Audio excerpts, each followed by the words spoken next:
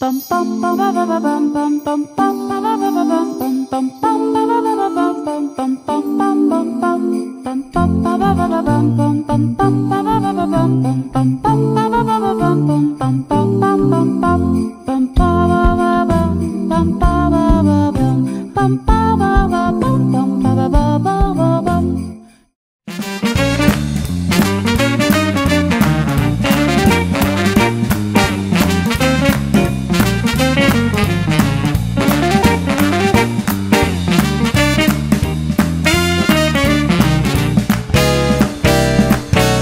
club was hopping and the band was bopping over Christmas holidays.